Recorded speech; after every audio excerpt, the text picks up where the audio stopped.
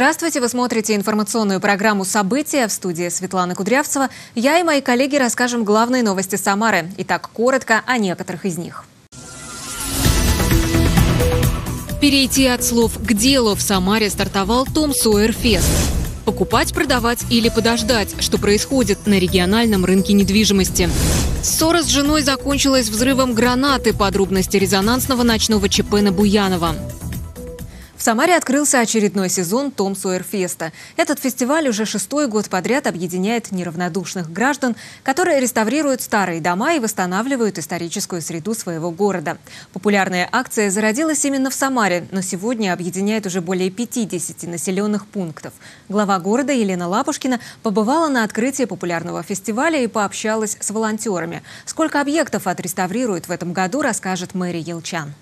Александр Горин в начале года купил дом на улице Братьев Коростелевых, 127. Говорит, всегда мечтал жить в исторической части города. Сейчас молодой человек вместе с семьей занимается ремонтом, и лишние руки в помощь не помешают. Знакомые посоветовали обратиться к инициативной группе Том Сойер Феста. Теперь дом Александра – один из объектов, которые в этом году помогут отреставрировать волонтеры. Завтра уже Том Сойер Фест начнет ремонт фасада. Я этому очень рад. Рад, что волонтеры помогут нам, что этот дом преобразится. Дом будет красный, с белыми вставками, яркий. Я думаю, всем понравится. Решили, что сезон такой, что больше одного жилого дома мы не берем в этот сезон, чтобы все сделать хорошо, не гнаться за цифрами какими-то. Впервые мы работаем с таким объектом, когда человек купил старый деревянный дом в качестве жилья, и сейчас проводят капитальную вообще его реконструкцию, а мы ему поможем. Том Сойерфест придумали и впервые провели в Самаре в 2015 году. Сейчас он проходит в 53 городах и селах России. Всего за пять лет работы волонтеров восстановлено более 80 домов по всей стране, 15 из которых в Самаре. На открытии шестого сезона фестиваля побывала глава города Елена Лапушкина. Вокруг себя объединяете единомышленников, и таким образом рождается вот то самое гражданское сообщество, активное, объединенное одной замечательной идеей, и это не менее прекрасно, чем восстановление просто фасада дома. И за вами идут люди, что тоже очень и очень важно. Из года в год основная цель проекта – обратить внимание на историческую среду и объединить городских активистов в деятельное сообщество. Начинание, которое зарождалось как региональная инициатива, сейчас стало федеральной повесткой, отметил депутат Государственной Думы Александр Хинштейн. Замечательно, что мы с вами не только э, возвращаем старый облик городам Самары, но и пропагандируем сохранение красоты, э, и своих истоков, своей истории, и это находит такой охват и такую поддержку по всей стране. В этом году, кроме дома на братьев Коростелевых, планируется отремонтировать трансформаторную подстанцию в стиле модерн и создать на одной из стен улицы Ленинградской панно из почтовых ящиков. Стать волонтером и внести свою лепту в преображение города может любой желающий. Для этого нужно написать в официальную группу в соцсетях фестиваля. Мэри Елчан, Николай Епифанов, Константин Головин. События. Тем временем в Самаре продолжается общественное обсуждение выбора места для установки памятной стеллы. Напомню, в начале июля особые заслуги Куйбышева запасной столицы, где ковалось оружие победы, отметил президент России Владимир Путин. Он подписал указ о присвоении 20 городам страны, в том числе Самаре, почетного звания «Город трудовой доблести».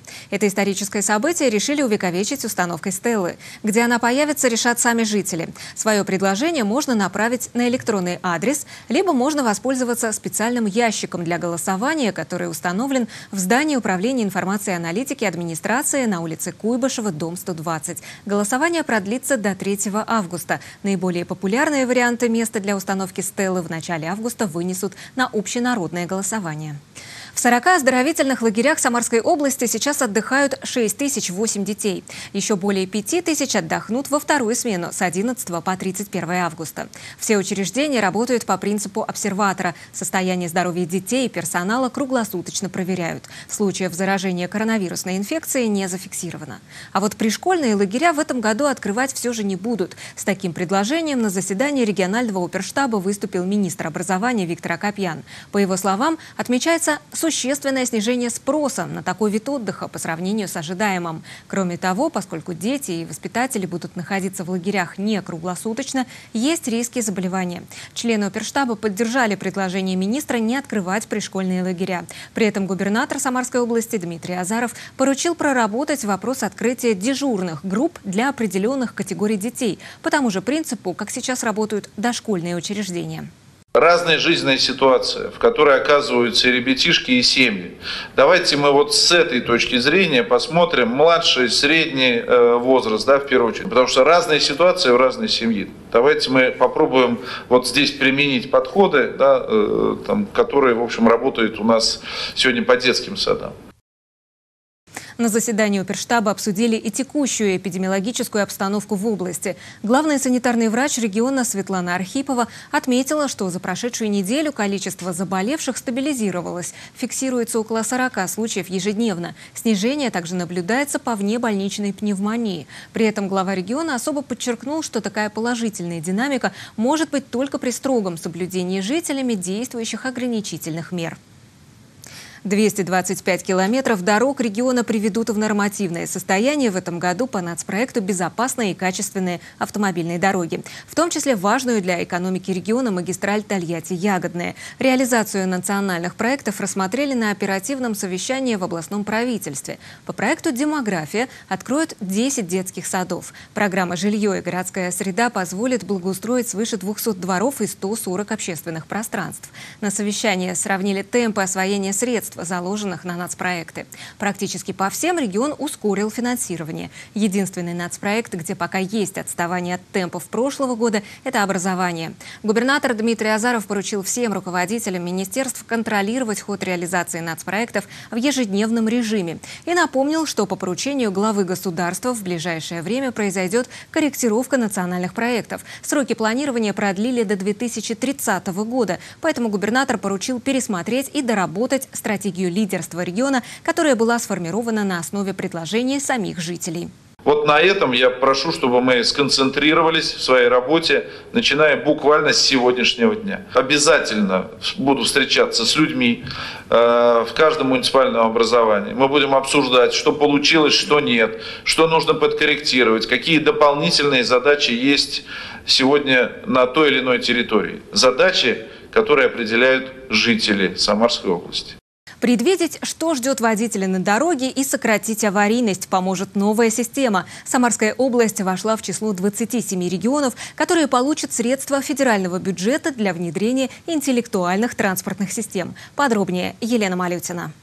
Получить информацию о пешеходе на дороге, о вскрытии колодца, о работе уборочной техники. С помощью умной дороги водитель сможет предвидеть обстановку в пути. Благодаря новой технологии улучшится логистика, повысится безопасность на дорогах, снизится смертность. Датчики системы реагируют на вибрации движения объектов и на звук. Независимо от погодных условий оповещают водителя, который подключен к системе. Автомобилистов такое новшество радует. Очень классно, что появляется такая система помощи водителям.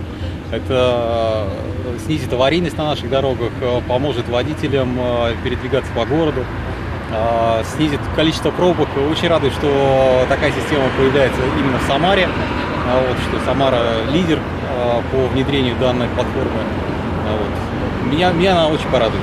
Платформа также может выдавать рекомендации и собирать статистику для улучшения безопасности дорожного движения. Новую систему испытывают в Самаре на Московском шоссе, а также в других городах и районах области. Всего около тысячи километров дорог.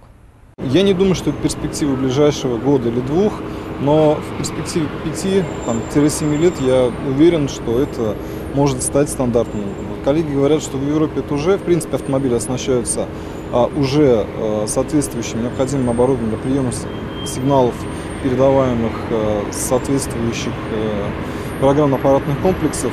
А, плюс, ну, насколько я владею информацией, АвтоВАЗ также планирует а, приступить к оснащению своих выпускаемых автомобилей необходимым оборудованием. Самарская область вошла в число 27 регионов, которые получат средства федерального бюджета для внедрения интеллектуальных транспортных систем по нацпроекту «Безопасные и качественные автомобильные дороги», инициированного президентом страны Владимиром Путиным. По поручению губернатора Самарской области Дмитрия Азарова специалисты начали разработку документов транспортного планирования и проекта создания и внедрения элементов интеллектуальной транспортной системы на территории региона. Наш регион имеет э, все шансы. Я считаю, что этот модуль мы сделаем обязательным для Самарской области и внедрё, внедрим э, под систему V2X э, в наши интеллектуальные транспортные системы, которая будет интегрирована в единый пункт управления транспортной системой региона. Планируется, что новая система станет стандартом для беспилотного транспорта. Елена Малютина. События. Крупные российские банки столкнулись с оттоком валютных вкладов. Эксперты считают, что кредитные организации предлагают слишком низкую доходность сбережений. Подробнее об этом, об оценке самарского метро, а также о курсах валют расскажем в нашей рубрике «Новости экономики». Здравствуйте, это новости экономики, расскажу о них я, Андрей Горгуленко. Курс доллара снизился на одну сотую процента до 71 рубля 59 копеек. При этом европейская валюта выросла на 67 сотых процента до 83 рублей 78 копеек. Об этом во вторник, 28 июля, свидетельствуют данные Центробанка России. Стоимость нефти марки Brent по состоянию на 11 часов упала больше, чем на процент и оказалась на отметке 42 долларов 61 цента за баррель. Крупнейшие российские банки продолжают терять валютных вкладчиков даже после пика кризиса и пандемии, следует из отчетности кредитных организаций на 1 июля. Отток более 600 миллионов долларов с депозитов в иностранной валюте в июне пережили 7 из 11 системно значимых игроков, оценили эксперты. Основная причина оттока средств с валютных депозитов – их низкая доходность. По словам аналитиков, предлагаемые банками условия по сберегательным продуктам практически нивелируют экономическую разницу между хранением валютных средств во вкладах и на текущих или карточных счетах. А при схожей доходности пользоваться счетом удобнее. Эксперты считают, что российские банки сохраняют достаточный запас валютной ликвидности, необходимый для операций. Самарский метрополитен попал в число лучших по качеству обслуживания. Рейтинг составил Общероссийское объединение пассажиров. Аналитики оценивали стоимость проезда, число льгот, способы оплаты, доступность для людей с ограниченными возможностями, наличие Wi-Fi, частоту рейсов, работу с обращениями в социальных сетях. Подземный транспорт Самары занял второе место, разделив его с Казанью и Нижним Новгородом. В аутсайдерах метро Санкт-Петербурга. Первую строчку занял метрополитен Москвы, где самый дорогой проезд – 56 рублей. В Екатеринбурге и Самаре Самаре поездка обходится в 32 рубля, в Нижнем Новгороде и Новосибирске 28 и 25 рублей соответственно. С 11 августа по 8 сентября пройдет бесплатный онлайн-курс для самозанятых «Шаг к бизнесу». Об этом сообщили в региональном центре развития предпринимательства Самарской области. Участники онлайн-курса научатся упаковывать свою идею в проект, узнают о полезных и доступных инструментах господдержки бизнеса, повысят доходность своего дела, наладят постоянный поток клиентов и выстроят план продаж. Обучение будет бесплатным, но, чтобы поучаствовать, нужно до 10 августа заполнить заявку на сайте mobiz60 53.ru. На этом все. Процветания вашему дому. Скупают квартиры и загородные дома. В Самаре в среднем на 20% вырос спрос на покупку недвижимости за последний месяц. Ждать ли снижения цен на квартиры или наоборот повышения, расскажет Елена Малютина. Покупать, продавать или подождать? Вопрос, который волнует многих самарцев в текущей эпидемиологической обстановке. Жительница Самары Ирина Радченко откладывать с решением жилищного вопроса не стала. Недавно у них с мужем родился второй ребенок. Говорит, теперь в квартире тесно. На семейном совете решили обменять свою двушку на трехкомнатную квартиру.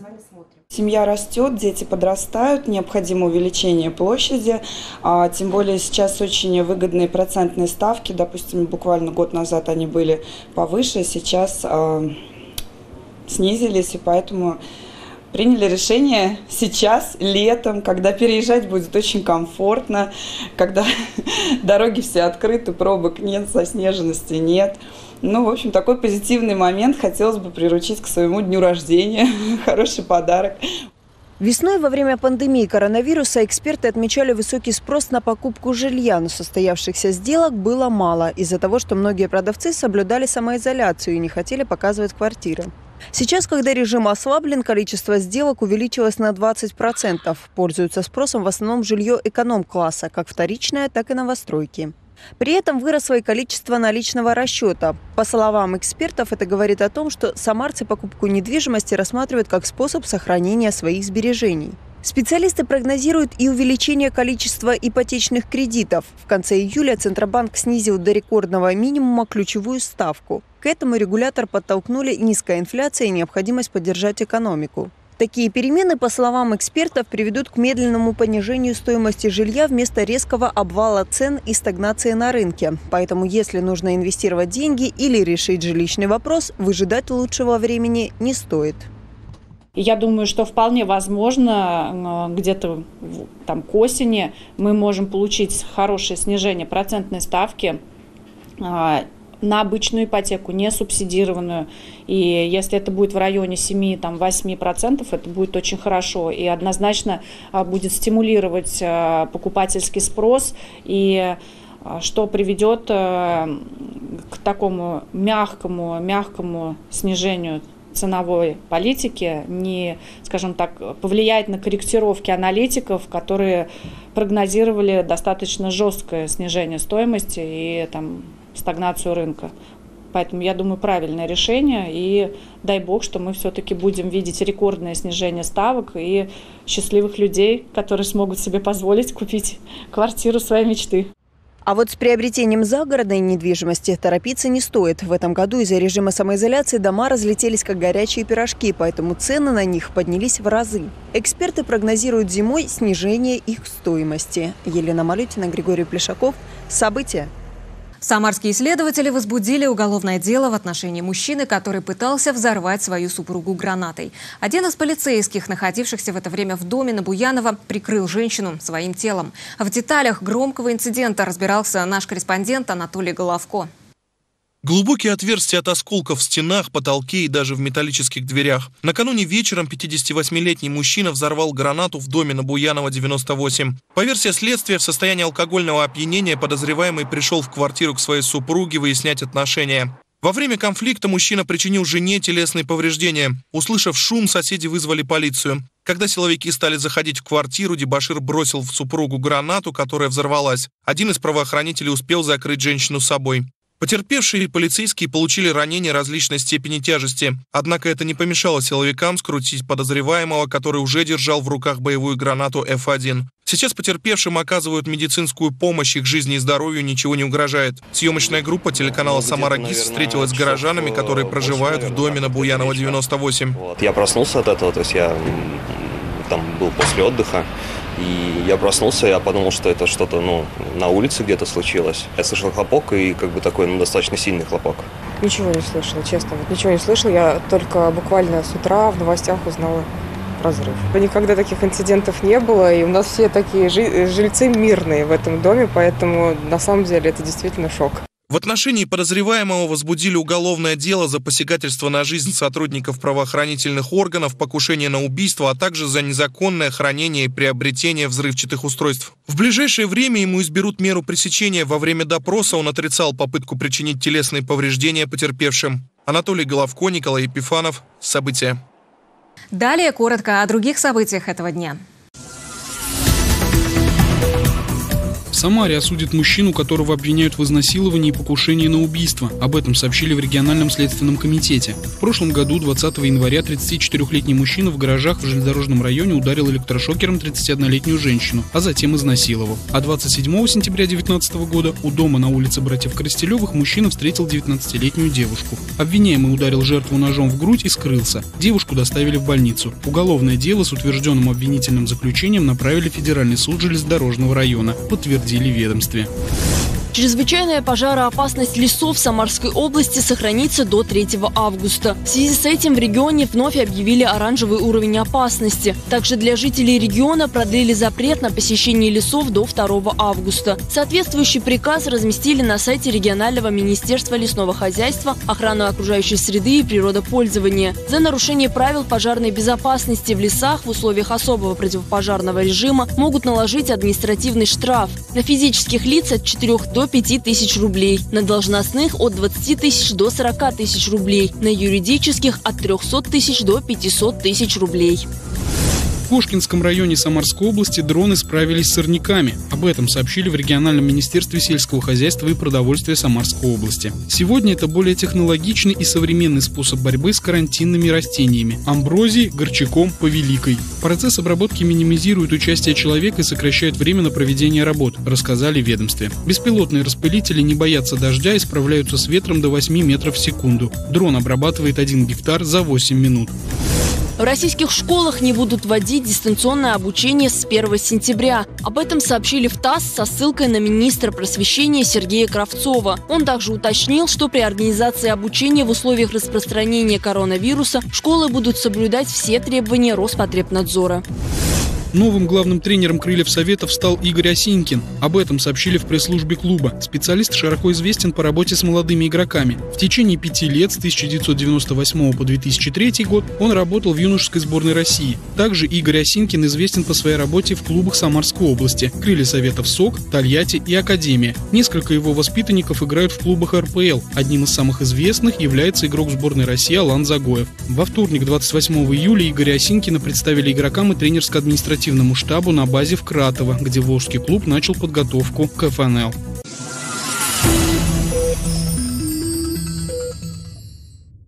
Сегодня ровно в полдень на колокольнях всех храмов Самарской митрополии раздался праздничный перезвон. Такова традиция церковно-государственного праздника День Крещения Руси. Памятная дата была установлена в 2010 году и приходится на день, в который православная церковь чтит память святого равноапостольного князя Владимира, крестившего Русь в 988 году. В то время Киевская Русь была сильно модернизированным княжеством, однако для государственного развития не было объединяющей национальной идеи – После долгих размышлений князь Владимир выбрал византийское христианское учение, которое на тысячелетия вперед определило развитие российской государственности. В день крещения Руси колокольный звон волной охватит всю планету по часовым поясам. Будут слышны храмы даже на островах Океании и в Антарктиде.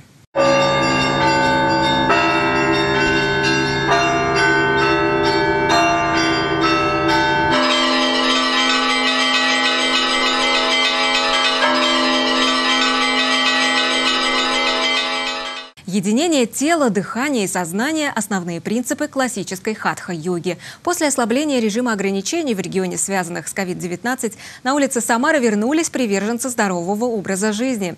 Анатолий Головко отправился в парк Гагарина и пообщался с инструкторами, которые проводят экзотические занятия для всех жителей и гостей города. Сидячая работа до добра не доводит. Так считают самарцы, которые ежедневно приходят в парк Гагарина на занятия классической хатха-йогой. Это течение зародилось в средневековой Индии и пользуется популярностью по сей день. Врач Мария Александрова практикует йогу уже пять лет вместе с сестрой. За это время она успела достичь серьезных успехов и даже поправила здоровье. Это прекрасно, кстати, помогает для спины. У меня такая сидячая работа, ну, периодически сидячая. И вот без йоги, конечно, я бы, наверное, долго на ней не протянула. Сестра Марии Ольга приходит в парк позаниматься не только духовными практиками и физическими упражнениями. Здесь она встречается с единомышленниками, которые сблизились с девушкой на фоне общих интересов. У меня здесь есть уже хорошие друзья, хорошая компания, любимый тренер Елена, например. Но вот мы приходим просто расслабиться и хорошо провести время. Ну, а йога это, конечно же, просто приятно для всего тела. Бесплатные занятия проводит инструктор с большим опытом работы Елена Затеева. По ее словам, йога помогает людям забыть о повседневных проблемах, разобраться в себе и укрепить физическую форму. Мы занимаемся в основном классической хатха-йогой. Она включает в себя асаны, то есть это какие-то физические положения, также дыхательные техники пранаямы. Ну и своего рода какая-то медитация тоже присутствует. Присоединиться к новомодному течению может любой желающий. Для этого достаточно просто уточнить расписание у организаторов. Занятия по хатха-йоге проходят в загородном парке, парке Гагарина и в Струковском саду. Их проводят при поддержке администрации Самары. Анатолий Головко, Николай Епифанов. События. Теперь смотреть телеканал «Самарагис» можно и в телефоне. Из любой точки мира и в любое время суток. Онлайн-вещание, самые свежие и актуальные новости, а также полная телепрограмма в один клик. Все это доступно в нашем новом приложении телеканал «Самарагис» для iOS и Android. Скачайте его прямо сейчас в App Store или Play Market. На этом наш выпуск завершен. Подписывайтесь на наш телеграм-канал. Будьте здоровы, всего вам самого доброго.